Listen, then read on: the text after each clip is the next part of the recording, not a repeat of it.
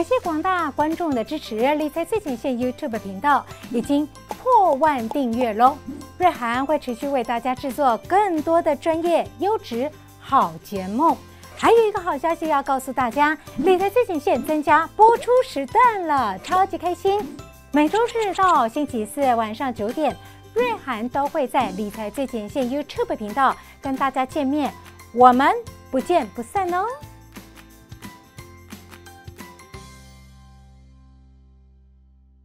欢迎收看理财最前线。很多人布局 ETF 是放长的喽，但您知道吗？散户挑选适合长线投资的 ETF，可要必备三大条件。到底是哪三大条件呢？还有话说回来，你我我们每个人的风险属性是大大不相同，所以如何找找适合自己的 ETF 呢？当然，今天下个礼拜的重要国内外财经大事，一样帮您抢先预告一下，哪些细微的得弄清楚。在今天为您邀请到的专家，元大投顾专业经理林卫成，卫成你好，瑞安好，大家好。说到了长线布局 ETF，请问一下啊，长线投资 ETF 很多人都这么做，为什么一定要必备条件？而且呢，卫成说三个条件。成分股要继续成长，高股息、低波安心，不太明白为什么？成分股续成长，因为当公司有一个不错的营运表现，那股价就有机会水涨船高。那当然联动在 ETF 来看的话，也可以享有波段的绩效。那高股息的部分，因为它会有定期的这个股息会入账，那我们在这个呃创造这个现金流量，就会有一个稳定的现金流量的部分。低波动的标的，我们抱起来会啊更有一个安定的感觉。魏晨，请上来。还有一点，他刚讲了。最好是波动低一点点，因为我们要放长了，所以呢，低波动抗压性就会比较够一点。所以呢，帮我们做一下举例说明喽。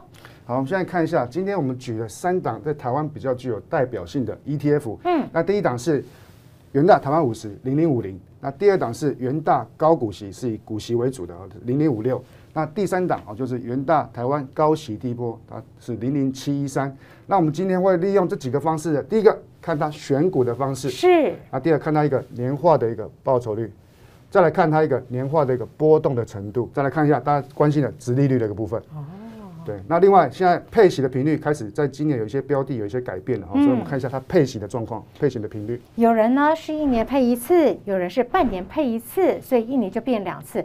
更有人呢，他是一季配一次，那一年就配四次喽，都不相同。对，嗯，再来就看一下它的一个成分股到底有哪些成分股。好，帮我们比一比了，来逐一说明选股方式。好，我们先看一下元大台湾五十哈，那元大台湾五十它是挑选市值前五十大的这些上市柜的公司，直接看一下它的一个成分股持股的部分。哦，台积电、红海、联发科，嗯。哦，就是一个大型的公司为主，都是龙头的。龙头公司。好，再来看一下第二档是元大高股息零零五六，那元大高股息呢，它是挑选市值前一百五十大的公司，那从里面去挑。预测未来殖利率会比较公司比较高的公司，把它挑选出来。嗯嗯嗯。对，那我们看一下成分股，就可以很明显看出来，长荣、联友、联发科，那这三家公司在去年前三季的财报啊，其实都超赚超过四个股本四十块的 EPS 以上。哦，所以它的获利不错。那零零七一三呢？那七零七一三它是用市值前两百五十大哦，范围再放大一点点，但是它选股的这个方向有点不太一样，它是利用财务指标来选股。那什么叫财务指标呢？哦，包括了像这个股东权益报酬率，好，或是它股息配发的一个品质，哦，那用从这个里面的指标去看最小波动的一些标的，把它挑选出来。那我们看一下啊，标相关标的，哈，以这个。台湾大为例，好，这就是我们所谓的电信类股啊。电信类股一般我们来说，它就所谓防御型的，低波动，低波动哦。它其实可能一年赚五块，配个四块半，股息非常的稳定，类似这种标的。再来看一下历史年化报酬率喽。好，年化报酬率的部分，我们看一下台湾五十的部分，它的年化报酬率是十一点二个 percent。嗯嗯。那在元大高股息是七点二二个 percent，哦，在这里。再看一下。元大台湾高息第一波，那这一档它的报酬率是十点九个 percent。当然我们看起来哈，这个元大台湾五十，哎，看起来年化历史报酬率是表现比较好的。哦，这个高不要删哦。接下来是波动率嘛？那波动率其实讲的就是股价它一个变化的一个大小程度了。好，那一般我们会看，假设我是胆子比较大的投资人，我可能就买波动大一点；如果我是比较保守投资人，我就买波动小一点点。那请问一下，如果股价每天都上冲下洗，这就是波动率大。大如果呢，大盘呢剧烈震荡，可是它只有这样，那就是波动度小。可是波动度小，当然呢比较不会有这个剧烈震荡的感觉。可是呢，它的这个你可以买低卖高，可以赚的价差也比较小一点点。哦，就端看你喜好了。所以如果波动度来看，波动率来看呢，那我们看一下台湾五十的部分是二十点二个 percent，好，那依序元大高股息是十六点五个 percent，好，那元大台湾高息低波，哎，看起来波动率更小了，是十四点四个 percent，所以波动比较小的就是在云大高息低波零零七一三。零零七一三，请问一下哦，年化报酬率，报酬率但是越高越好越。高越好。如果我们是为了退休打算，时间放长的，那么波动率应该是越低越好。越低越好。难怪您会打勾勾哈。再来一个历史年化值利率呢？殖利率部分，台湾五十是三点七二个 percent，嗯，而那这个元大高股息人如其名呢，我们看到殖利率是八点一六个 percent，嗯表现不错。那元大台湾高息低波呢也不错，有七点三六个 percent，哦但是比较年以历史的一个呃殖利率来看的话，年化的表现还是元大高股息表现比较好。哎，这可理解，就像您刚刚说的嘛，因为它是挑市值前一百五十大当中预测未来一年股息直利率最高的五十档，它挑的就是高配息的嘛。高配息所以您看它的直利率来看就是百分之八点一六，所以打勾勾的是在这儿。接下来配息频率嘞，那刚刚给我讲到以前哦，可能配息的频率是一年配一次，嗯嗯。那现在开始有些调整了，跟上国际的潮流。好、那像元大台湾五十，它是半年配一次，哦，就是分别在一月跟七月的时候，所以一年配两次。一。年配两次。嗯。对，那元大高股息目前还是用年配的方式，大约是每年十月会来配息。一年配一次，对，再来元大台湾高息低波，它现在是改成季配，嗯哦，每一季来配一次，分别是三、六、九、十二嗯。各配一次，一年配四次。我之后有机会再来教您，一年十二个月用什么样的 ETF 的布局法，可以月月领到息，月月配到息，是有技巧的哦，不用急。好，接下来那我问您哦，这三个勾勾啊存在着假设了哈。如果我们年长了，因为退休打算是不能冒什么风险的嘛，就一定要这个低波动，然后呢高配息的这个这样子，对不对？所以我们可以用低波动搭配一些高股息来做个投资组合。是嘛哈？如果要退休，可是年轻的，我告诉你，年轻人很敢冒风险。就像高慧成说的，波动比较大的，像这零零五零，为什么要波动大？因为它都是权重股大的公司在这里面，所以大盘如果上冲下起剧烈震荡，或大盘在往上急冲、往下掉的时候，它的震荡都比较剧烈。因此，年轻的比较胆子大，想要赚价差的，像这个。我来个这个，呃，应该新号好了。如果年轻的想要赚价差的，是不是就这个？但是又怕说，哎呦，如果太过剧烈，那我至少有一点点息来保本嘛，不然老婆会骂我，我还得养小孩。所以如果想要赚点价差，又想要领息的话，是不是就这两个配对呢？没错，可以哈可以。所以年长的看三角形，年轻的可能看星号。好，把它清掉之后，知道长线投资 ETF 必备的三个条件。接下来我们就要去找喽。三个条件之外，那么长线投资 ETF 我可不可以定期定额？为什么呢？因为其实我们在投资的时候，大部分投资人比较不会一次把一笔资金全部 all in 嘛，嗯，比较适合的方式就还是用所谓的定期定额、分散风险这样的一个概念来。长线的布局，你也觉得应该是定期定额比较好？对，因为你可能我可能如果是刚好在去年我一笔 all in 下去的话，我可能买在高点，对耶。对，这个风险会比较大一些。哎，我们来一个白板，把那个 all in 跟那个定期定额的观念说清楚。也就是呢，行情会这样子剧烈震荡，因此呢，刚刚魏晨说的好，假设你现在帮我换红色哦，有一笔资金，也许呢十万、二十万，看大家不是刚领年终奖金吗？如果所有的钱都压在这个地方，布局在这，那糟糕了，之前不就万八的高点或万七高点吗？你可能全部都买在高点，可是如果换成黑色，假设你是定期定额，你知道有多少好处吗？定期定额这个地方扣三千、三千、三千这样扣。那因为呢，行情如果在做修正的时候，三千三千这样扣。魏晨之前讲过了，如果跌的比较重的时候，在低档，也许你可以定期不定额变成了五千。假设涨起来，你也是一模一样做哦，也就是呢，三五千啊，三千三千这样子。请问我这么一画，不就来到了换成红色？因为你都是每个月定期定额这样的布局，因此到最后，你知道你的布局成本不是在这儿。很贵，也不是在这儿很便宜。您的布局成本会在中间值，甚至偏低哦。这就是标准的微笑曲线，对不对？没错。所以定期定额长线投资应该采这个方法。对，是吗？哈。OK OK，把它清掉之后哦，你看，因此呢，我们刚刚的那一章说明了长线投资 ETF 定期定额也是不错的策略。那您帮我三种情境推演一下喽。过去三年市场。呃，呈现一个比较大幅的一个波动，好像二零二零到二零二一，哦是呈现一个多头格局。那我们看一下这两年呢，其实大盘涨了五十个 percent，嗯，对。那在去年二零二刚好又遇到一个比较空头的走势，那去年整个大盘是跌了二十二个 percent，啊，所以我们就利用这个所谓的回撤的一个情境来分析哦，针对这三档 ETF，哦，元大台湾五十，哦零零五零，元大高股息零零五六，以及。台湾高息低波零零七一三这三档衣服，我们做一个情境的回测。好，那三种情境先。第一个情境是呃大家比较熟悉的，就是每个月固定金额叫定期定额这样的方式，我们来做一个分析。每个月的月底投入固定的金额，对，待会再试算给您看哦。那第二种情境呢？第二是我可能是呃这个天选之人，我每次只要进场，我变成是助攻的角色哦，都股市都是在呃价格都来到相对比较高的位置，那当然可能我们自己买就会套到比较高的位置。每个月一样定期定额，可是我就是。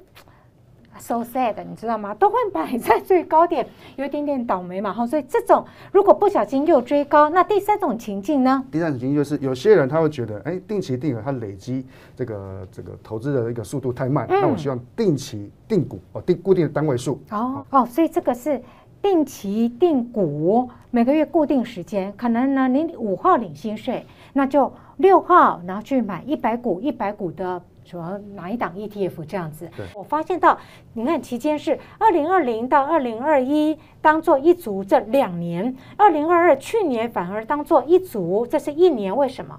因为我们要看，就是在多头的行情跟很标准的空头的行情，我们去做这样的一个情境的分析，会造成怎么样的一个结果？确实，哎，二零二零到二零二一是走大多头。来，你往下方看，二零二零到二零二一这两年，台股哦，从一万两千多点涨到一八二一八，涨了百分之五十。可是呢，去年的空头来表现如何？从一万八千两百点跌到一万四千一百点，跌了二十二个 percent。所以就多头，你如果这个策略是怎么样？空头的去年，你这个策略又赚赔如何？是。好，来说明。那我们看一下，如果每个月定期定额哈，就是每月底，假设我们用一个月底的情境固定的金额，我们从三千元的小额做起，然后这个赚就是算是一个投资的一个入门的一个门槛嘛。对，三千其实对大学生如果有打工是 OK 的啦。没错。嗯。那如如果是在这个多头的时候呢，我们看台湾元大五十啊，报酬率是二十九 percent，高股息是九 percent，哦，那元大高息低波是十八个 percent，它赚比较多。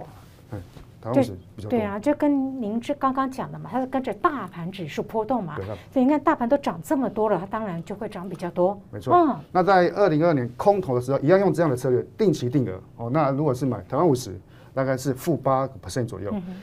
元大高股息是负十一个 percent，那高息低波是负九个 percent。嗯，哦，看起来哦，这个这个元大高股息这个绩效是比较不理想一点。但是哦，就算去年一整年走空头，我刚不是讲了吗？去年大盘跌两成二，他们可是跌这样哎，它约略也才跌一成一哦，都比大盘来的抗跌，对不对？对。所以 ETF，请问一下，ETF 之前您说过它是追踪指数的，指数内包了一篮子的股票，但就是吻合条件的这些标的被挑进来，所以呢，是不是因为标的比较多，它也能够分散风险？没错，漂亮。好啊，再来呢这个啊，刚才讲到，如果你都是成为助攻王，我们买台湾五十，哎，报酬率看起来也没有差很多，二十五个 percent。高股息是七个 percent，那台湾高息低波是十六个 percent，嗯，对，但是在空头的行情的时候啊，我们看如果是买到追高点，看起来这个绩效哎会比较不理想一点点哈。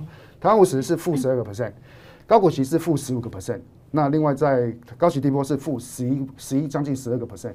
可是呢，就算它在空头的时候，负的也没有大盘，对不对？们我们是分散风险的。分散风险嘛。但确实啦，因为你真的就是每次都不小心追在最高点，所以您看这边的报酬都比这边还要来的差，因为你都追在最高嘛。对。好，那第三种呢，定期买定额的股数。对，固定的一个单位数。那在多头的这个时间点哦，可能我们就是用这个积少成多的方式哦，每个月我们就先买一百个单位数，一百股，哦，用这样方式来做起啊。所以我们看到，如果是用这个呃定期定股的方式啊，在多头的行情，我们看台湾五十呃报酬率回撤的绩效会有二十四 percent。高股息会有九个 percent，那在台湾高息低波会有十七个 percent。那如果是这样的方式，在空头的这个行情的时候，台湾五十是负十个 percent，高股息是负十四个 percent，那元大台湾高息低波是负十个 percent。嗯，这张呢，我把它看完了。不管你是用哪一种情境，几乎可以得到一个最终的结论：正报酬说实在都没有大盘来得强。多头的时候，空头的时候，负报酬，坦白说也没有像大盘跌得如此之重。避险跟抗跌，待会儿魏长还会读出了更多的弦外之音哦。因为我现在急着问了。他的个性跟我的个性怎么会一样呢？每个人风险承担的属性都不同，所以如何去找适合自己的 ETF？依据刚刚我们回测这个迹象哦，所以我们可以去看，其实因为每个人都有不同的一个风险属性，所以找到自属于适合自己的投资方式，这个是蛮重要的。那根据我们刚才讲的这三档 ETF 啊，因为其实是市场上还还是有蛮多类似的 ETF，那我们就举这三档一样带具代表性的，我们看一下。积极型的，你就可以来看元大台湾五十，因为元大台湾五十它是着重资产累积的成长，它可以承受较大的价格波动。因为它的波动度比较大嘛。对，就像刚才讲的，如果你是比较胆子大的人，哦，就可能就适合比较积极型的投资。没错，没错。对，那另外还有就是稳健型的，哦，就是元大高股息类似这样类型的 ETF，因为它有稳定的现金流量。如果你有现金流量的需求，哦，这个现金哦，可能每一年每固定的时间都会有金额入账，哦，我们领得到钱，哎，就觉得会比较放心一点。就好像一年领一次年终奖金的道理一样，所以你只在乎一年领给自己一个大红包，那就可以布局零零五六。那七一三呢？那保守型呢，就可以挑这个元大台湾高息低波，因为重点是什么？低波动嘛，嗯，啊，所以如果你想要简单投资，那你的偏好不要就是不要波动太大，哦，就我不用想太多，波动小一点，那我又有不错的股息可以领，哦，就是保守型，我们就可以看一下这种台湾高息低波这样类似这样类型的 ETF。因此来看这个，刚刚不是呢针对那上一张的表格吗？读出了最重要的结论，听好喽，如果行情在多头，假设行情还在走空头修正期间，或者是您才刚未成交的定期定额。等到什么样的时间点上，你可以定期不定额，同样的这个月钱进去，但是呢，可能三千变成五千，这三种情境，应该呢，我们如何运用刚刚三个 ETF 的配置呢？来，请说。好，但在多头的时候，其实我们看到用绩优股啊去掌握绩效，其实是比较好的效果。但是我们还是要提醒啊，空头的时候还是不要追高。为什么在多头的时候要去找绩优股掌握效果？我们回到商业来看一下就知道。OK。所以如果我们是买这个所谓的绩优股，我们着重是资产的一个成长的速度。嗯。我们看一下啊，这个元大台湾五十，在三种情境里面哦，在如果是呃定期定额。哦，这个在多头行情，它赚了大概二十九个 percent。对耶。那如果在这个我是每次都是这个买到最高点，我是助攻王的话，看起来这个绩效也不错哦，有二十五个 percent，落差其实没有太大。那如果是呃月中买入固定的股数这样的一个情境，其实它的这个报酬率也有二十四点五个 percent。那相对这个高股息或是这个高息低波的这个 ETF，你看它的报酬率，其实它的涨幅就是比较明显一点。如果行情在修正期间呢？那修正的期间就像去年二零二年那种，呃，是比较空头的行情哦，就比较适合用低波动这样的 ETF 来去做个操作。三种情境，我们看一下台湾高息低波哦，它的报酬率分别是负九个 percent。负十一个 percent，负十点三个 percent，那看起来哦，它的一个呃所谓的一个负报酬都比其他这两档 ETF 来的更有收敛的一个情况。那如果是定期定额，或者是加一个定期不定额的？对，因为很多投资人他可能在投资 ETF，他还是想要是以这个高配息为主，嗯啊，所以高配息的部分，我们就可以用利用定期定额或是定期定额，刚才讲到的就是低档加码这样的概念去来灵活运用。好，虽然刚才提到了元大的高股息，哦，在这三种情境，那另外分别是在多头跟空头的行情当中，看起来绩效哎，是落后另外两档 ETF。不过我们一开始有提到哈，呃，元大高股息它的年化的一个历史的殖利率有八个 percent，嗯，也就是说你买这档 ETF，好，其实你每年是把比较多的这个现金股息放回自己的口袋。来帮我来一个拜拜。他刚有说哦，零零五六是要放长的，所以呢，我们举例刚刚说他配给你的息是八，假设这边的股价是一百块，所以呢，股息折利率是息除以股价百分之八，换红色哦。如果股价往下掉，假设我们掉到八十块好了，配给你的息八块钱是不改变的，因此呢，八除以八十，这样子算下来，你的股息折利率是十 percent 的，就是刚魏晨讲的，本来八 percent 的股息折利率，现在呢股价一跌，跳高，股息折率来到了十 percent。但话说回来，您刚刚讲到一个重点，就是配给你的息要继续滚入，进行定期定额的买入 ETF，是这个意思吗？对，没错。但最后一个长期配息再投入。复利概念创高现金流，这什么意思？啊，就是有些投资人他可能现在买 ETF。哦，他不不用急着领息，他可能是为了未来十年或十五年之后他退休要运用的。哦，所以如果在这个时间点我们领到息，我们把它再投入去做投资，就是我们说的所谓的复利的效果。哦，哦，然后我累积了十年、十五年之后，把我这个铺，把我的投资组合养大之后，等我真的退休那一天，哦，我就可以帮我的退休金来做个加码。那我们这边搭配一张图表啊，就是说作为一个长线投资 ETF 到底有什么好处呢？哦，这其实啊，在上一次节目我们也提到，就是你不用去呃。烦恼一些选股的技巧，也避开选股的一些盲点哦。因为人家帮你挑好了。对对对，帮我们挑好了。那我们看一下哦，虽然去年整个大盘的绩效是比较不理想的，但是我们回顾一下，以这个最近的这个收盘价来这个观察哦，零零五零最近的收盘价是多少？一百一十六。记住哦，这很重要。待会儿呢，最近的收盘价在这个价格写给您参考。再来零零五六，零零五六大概是在二十。六块左右，好，七一三呢？七一三大概是在三十七块半左右。OK，然后呢？好，如果我们把这个价格加上我们这三年已经领到的息，把它加回去，嗯，一百一十六加九块钱的息，那我们这个价格其实是大于我们三年的一个平均投入的成本。我懂了，一一六加九点一，大概是一二五多。然后你看，如果我们去看一下均线概念。多少时间内的平均成本？你看三年，三年线就是三年的平均成本是一一八点三。所以如果你把现在的股价把息加进来，比成本布局的价格还来得高，所以还是获利的。还是获利的。零零五六也是一样吗？没错啊，因为它是现在价格大约在二十六块左右。那我们把过去三年已经领回放到口袋的息五点五块加上去是三十一点五，也是比三年的平均成本还要高。又对了，再来。在零一七三。最近的价格是在三十七块半左右。那过去三年它已经配发了七点七五的息，那一样价格加上我们已经配发息，大概是在四十五块左右，那也是高于三年的平均成本。好。终于明白为什么很多投资人、台湾投资人会 ETF 用定期定额的方式，而且是长线在做布局。这个图表已经说明一切喽。因此呢，提醒您，行情多头或者是空头修正期间，定期定额的策略，还有长期的配息再投入，这个运用都不一样。最后压轴的来看一下，那下礼拜还有重要的大事喽。好，首先来看一下下礼拜会有联电的法说会。啊，那我们大家都非常关注现在半导体库存调整的一个情况。哦，所以在联电的法说会，我们可以也会听出听出一些端倪。礼拜一，礼拜一。再来看到就是蛮重要，就是在这个美国十二月份的这个生产者物价指数，先说一下十一月份的一个数值年增率是七点四个 percent，嗯，那这一次市场上预估大约会在六点八个 percent 左右。哦，所以这个年增率的幅度是往下走的。那生产者物价指数？其实它相对来说，我们就是看一个通膨的一个呃一个前期的数值啊。因为生产者就是物价指数，就是我要生产一个产品，我要买很多材料。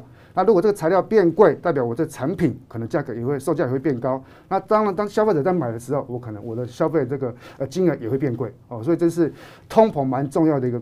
数据观察通膨，好，感谢魏晨，非常谢谢您了。下礼拜重要大事也跟大家做一下补充，赶紧归纳一下。今天的魏晨针对国人很喜欢的长线布局 ETF，拟定了一些的方法，跟大家来深入探究。必备三个条件，因为它是追踪指数的，指数里面有重要的成分股，指数内的成分股必须要是好的继续成长，而且呢，该档 ETF 也必须。